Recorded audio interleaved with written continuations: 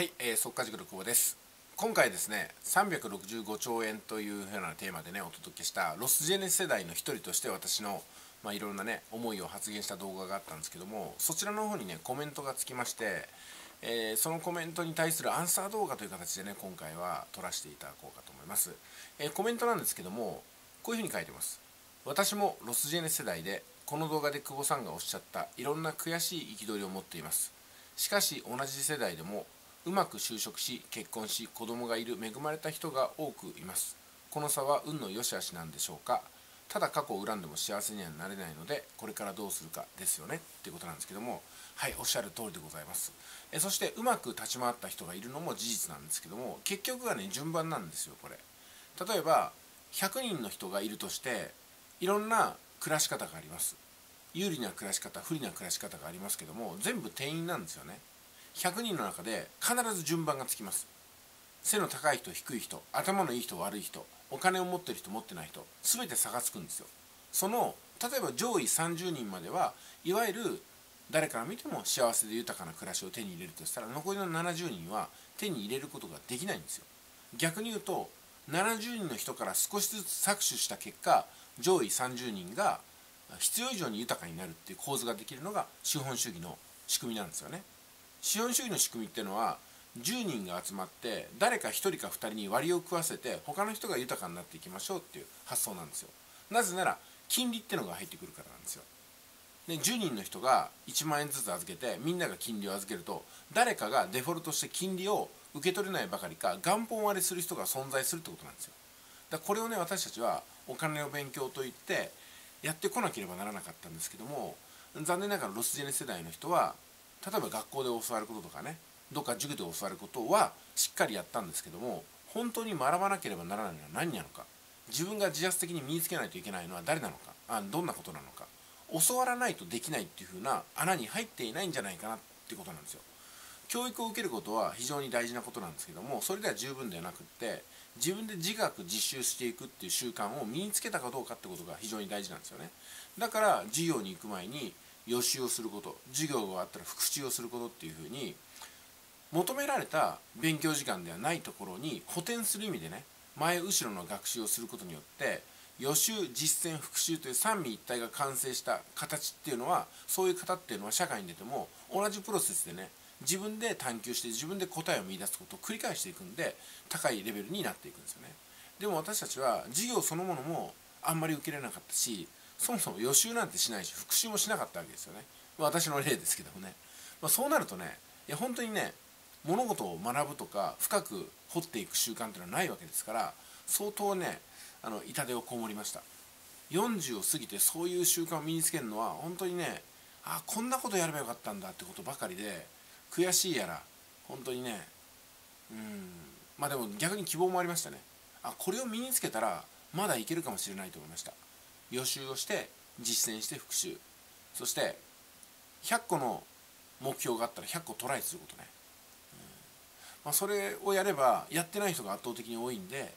まだなんとかなるんじゃないかなと思いました。さあそれでねそろそろこのコメントに対する返信の中でちょっとね重要なキーポイントをお届けしようかと思いますけどもあの実はロスジェネ世代っていうのはものすごい人数多いんですよ。でロスジェネ世代にはまだ見えてないニーズが山ほどあります。というところで私はねロスジェネの当事者として思いますけどもじゃあ40代50代が一番困ってることは何なのかってことをランキングでねトップ3トップ10トップ100ぐらいにまず整理してみるんですよ。で整理したものに対してはもうマーケットができているっていうふうな認識を持てます、まあ、ですんでじゃあ40代50代の人がお金を払ってでも解決してほしい問題はこれですよっていうふうにしてコンサルが始まるんですよ。そうするといろんなビジネスや商品やサービスを持っている人が40代50代に対してその顧客情報ね、全体的な母数としての顧客情報を欲しがるんですよ。どんなことを提案したら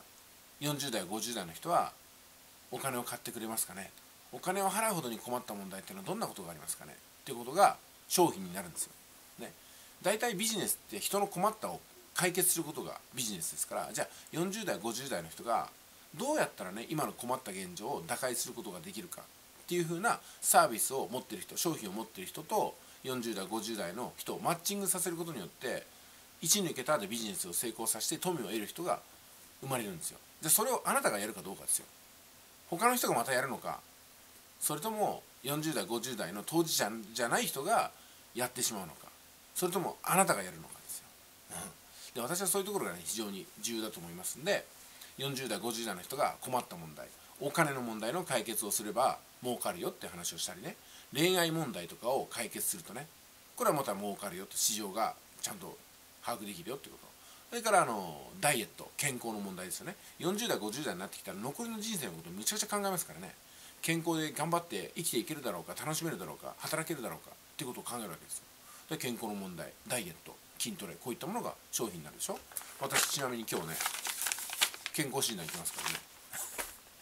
で、えーと、仕事の問題ですよね。あとはね。仕事お金恋愛健康。この4つの問題で最も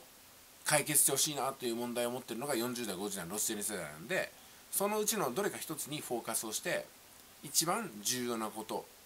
次に重要なこと次に重要なことっていうふうにランキング付けしたものそういうブログでもね売れますしね。そういう動画をたくさん撮ってもいいと思うんですよ。でできればそれに対する解決策を自分も編み出していってこういうふうにすれば問題解決できますよっていうふうにまあ情報発信していくことじゃないですかね。それがだから情報で稼ぐということになります。だからね困り果てたらそれが逆に商品になるってことなんですよ、